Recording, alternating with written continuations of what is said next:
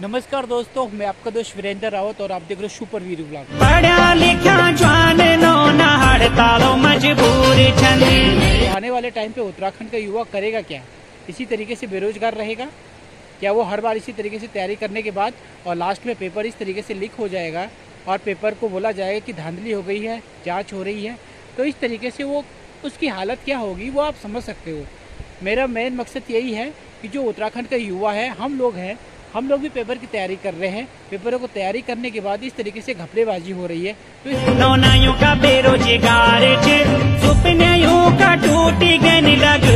भी वीडियो भर्ती में जिस तरीके से घपलेबाजी हुई है जिस तरीके से गिरफ्तारियाँ हुई है पेपर लीक के मामले कहाँ से कहाँ पहुँच गए हैं। और ऐसे ही हर एग्ज़ाम में होता रहा तो आने वाले टाइम पे तो उत्तराखंड के जो युवा है उनका भविष्य हम सुनिश्चित नहीं कर सकते हैं। सरकार को इस बारे में बहुत सोचना चाहिए इस तरीके की धांधलेबाजी ना हो।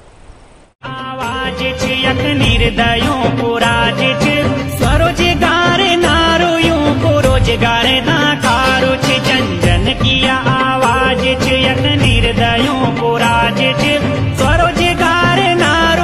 को रोज़गार चका चूर छन, गौ छोड़ी सब दूर छन। पढ़ा लिखा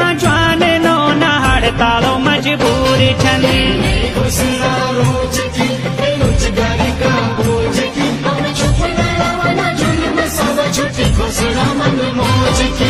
बनत बनब कैमा बन घोषणा तुम्हारी झूठी छन। बेरोजगारी गल हूँ मज़ाक तुम्हारी पटे कित टनाटन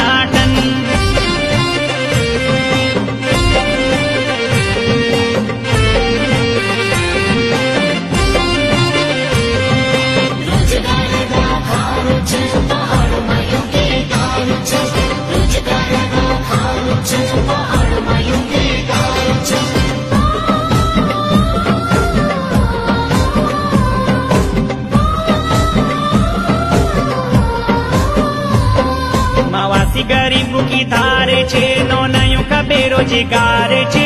सपनायों का टूटी गन लगुल तुम असगार स्यो। मावासी गरीबों की धारे छे, नौनायों का बेरोजगार। तो युवाओं का कहना यही है कि हम इतने सालों से तैयारी कर रहे हैं और उस तैयारी का नतीजा आप देख सकते हो क्या हो रहा है।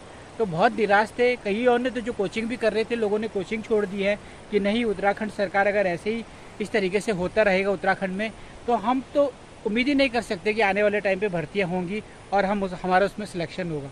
तो बहुत निराश है। उनके अंदर जो हीन भावना है वो उत्पन्न होने लग गई है। तो मेरा यही कहना है कि युवाओं से आप हौसला बनाएँ और अपनी तैयारी को लग, करते रहें।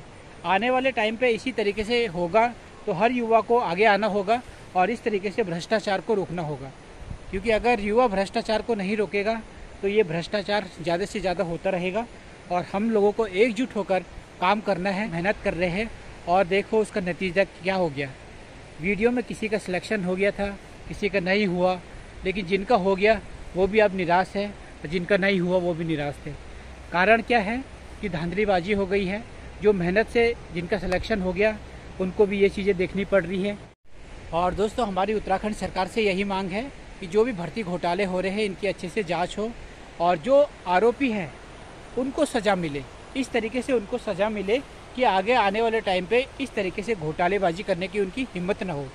और जो भी सरकारी अफसर इसमें जुड़े हुए हैं, उनकी भी जाँच हो, निष्पक्ष जाँच होनी चाहिए।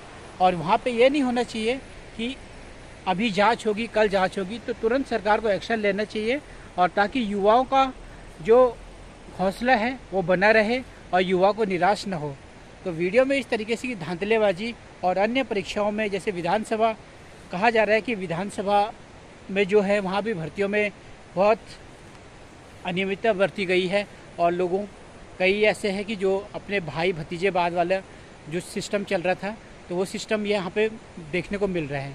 तो कई नियुक्तियाँ ऐसी हुई जिनमें कोई परीक्षाएँ नहीं हुई और ये हमारे रिश्तेदार है, वो हमारे रिश्तेदार है, एक है कि वो परीक्षाएँ, उनको क्या कर दिया गया, वहाँ पे नियुक्ति दी गई है। तो ऐसा ना हो और उत्तराखंड में अगर ऐसा ही होता रहे, एक छोटा सा राज्य है उत्तराखंड और इस उत्तराखंड में इस तरीके से भ्रष्टाचार होता रहेगा तो क्या होगा आगे?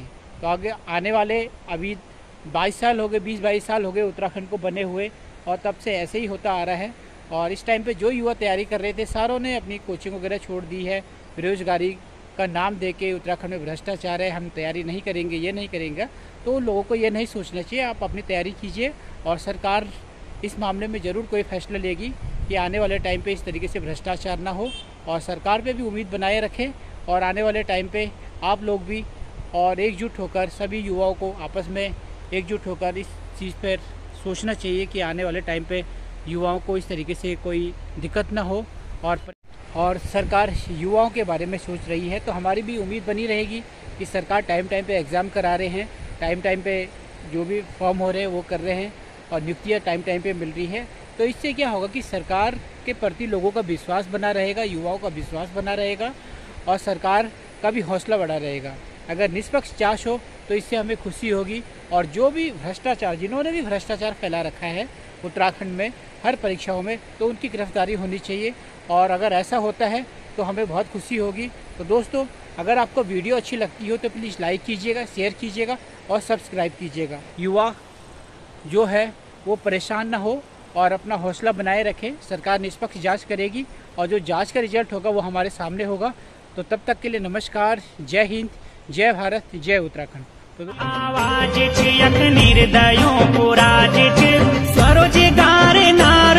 को रोज़गार नाकारो छ